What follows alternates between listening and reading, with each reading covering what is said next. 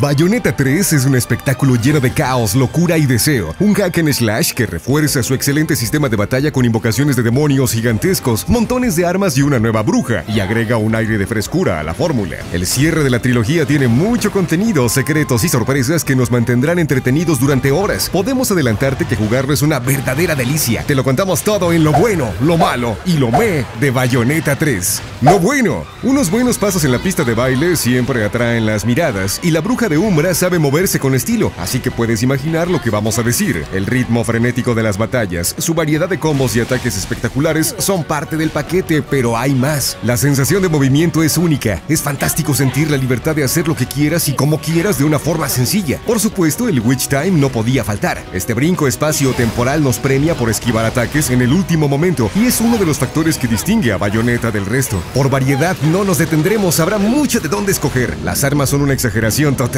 y eso es bueno en un juego tan surreal. En el arsenal de cereza encontraremos sus clásicas pistolas, yoyos de fuego, un látigo de espinas o un enorme mazo en forma de tren con motosierras. Disfrutamos mucho cuando destrozamos enemigos con combos interminables y los clásicos movimientos clímax, pero hay un gran añadido. Ahora podremos usar la técnica del demonio esclavo que permite a Bayonetta hacer un ritual para invocar a seres demoníacos colosales. Hay viejos conocidos como Gamora y sus poderosas mandíbulas o Madama Butterfly, la mujer gigante que pisotea a todo lo que se nos ponga enfrente. Sumado a eso, tendremos aliados como una araña gigante que puede lanzar redes y dejar crías explosivas o un tren demoníaco al que debemos indicar la ruta de ataque. Cada invocación es muy distinta y le da un toque novedoso a las peleas, pero deja vulnerable a Bayonetta. Poder controlar estos seres a voluntad fue una gran idea que se integra de forma orgánica al sistema de batalla. Lo mejor es que usaremos este recurso constantemente sin que parezca una salida de emergencia ante lo peor. Es un recurso que se suma a una lista de ataques que de por sí era grande. Todo nos da una amplia gama de combos y ataques diferentes, pero además podemos expandir más nuestras opciones. Después de recolectar algunos orbes, podremos usarlos en un árbol de habilidades para sumar nuevas técnicas por arma y también por invocación. Vale la pena invertir tiempo y esfuerzo para mejorar los ataques de bayoneta, pues muchos lucen impresionantes y nos facilitan las cosas. ¿Parece poco? Entonces agregaremos que es posible controlar a más personajes. La primera es Viola, una bruja inexperta con una poderosa katana que añade de nuevos ataques y un sistema de parry, dardos y la posibilidad de invocar un enorme gato. Esta invocación funciona por cuenta propia, pero nos dejará movernos mientras nos ayuda a terminar con el enemigo. La sensación de jugar con Viola es muy distinta y da un aire fresco a esta entrega. También podremos usar a Jane,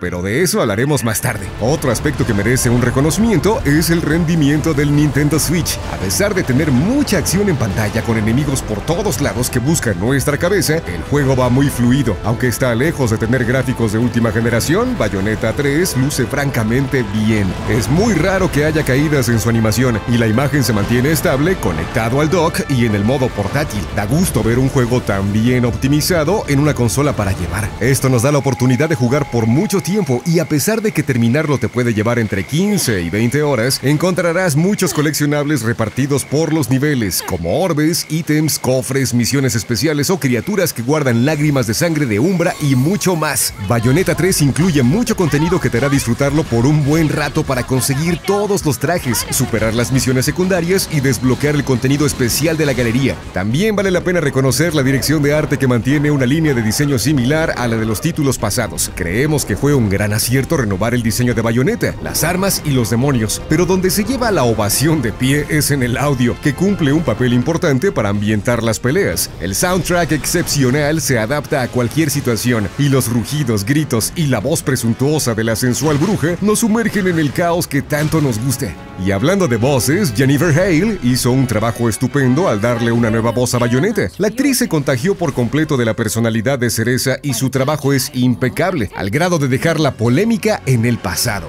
Lo malo. A pesar del buen rendimiento del juego, hay texturas y detalles visuales que lo hacen ver algo limitado. Por un lado, las escenas de persecución con edificios lucen bien por la velocidad del juego y las transiciones con escenarios en movimiento son sublimes, pero hay momentos en que se nota la falta de detalle de algunos elementos. Es decir, aunque luce muy bien por su diseño, en ocasiones el apartado técnico queda a deber y lleva la consola al límite. Es probable que cuando recorras los niveles en busca de secretos notes estos detalles, y aquí aprovechamos para decir que la nueva estructura de estos escenarios que permiten su libre exploración puede pesar a quienes solo buscan acción, aunque Bayonetta es un juego muy variado con persecuciones, peleas de kaijus y otras sorpresas. Se sumaron elementos de exploración que frenan de golpe el ritmo vertiginoso al que estamos acostumbrados. Recorrer los mapas en busca de recompensas está bien, pero hay momentos donde los lugares se sienten desolados. Por fortuna, el movimiento de los personajes es muy ágil gracias a sus transformaciones y eso ayuda a que el recorrido sea más ameno. Finalmente, tenemos que decir que los niveles de Jane nos parecieron innecesarios. Estos segmentos de sigilo son aburridos y no aportan algo de valor al juego. Aquí debemos recorrer escenarios en 2D que nos recuerdan a juegos como Katana Zero. La intención es que a modo de espía nos infiltremos en espacios cerrados repletos de enemigos, cámaras de vigilancia y otros peligros. Para superarlos debemos colarnos por ventilas de aire, pasos acuáticos y otros caminos donde solo Jane puede cruzar. A pesar de que hay algunos detalles divertidos, al final terminamos jugando por mero compromiso con la esperanza de que el nivel termine pronto.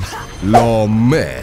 El tema de los multiversos está de moda y comienza a cansar. Este es el caso de Bayonetta, pues aunque tiene a los homúnculos como nuevos enemigos, existe un puñado de clichés que hacen predecible la historia desde el principio. Esto se ve reflejado en Viola, un personaje que no es tan encantador como Bayonetta y deja ver muchos de sus secretos con sus reacciones. Eso sí, hay que reconocer que el argumento se salva por el carisma de Cereza y sus interacciones con los enemigos, además de los viejos conocidos que están de regreso. Lo bueno es que el humor, la acción y el desenfreno que tanto nos gustan siguen presentes. Por otro lado, el diseño de los enemigos es algo simple. La mayoría de los homúnculos parecen estar hechos de slime y son muy similares. De pronto encontraremos enemigos grandes y un poco más intimidantes. Lo malo es que mantienen ese diseño sencillo y jabonoso que no nos impresiona. Hay enemigos que rompen esta regla, pero la mayoría del tiempo estaremos luchando contra homúnculos similares. Bayonetta 3 es un gran título lleno de sensualidad y violencia que te recomendamos agregar a tu librería de Nintendo Switch y una compra compra obligada si eres fan de la bruja de Umbra. Este es el mejor juego de la trilogía y se nota el esfuerzo de Platinum Games a lo largo de los años por entregar algo cada vez mejor. Es un hack and slash que celebra el regreso de Bayonetta y lleva al límite el poder de la consola de Nintendo.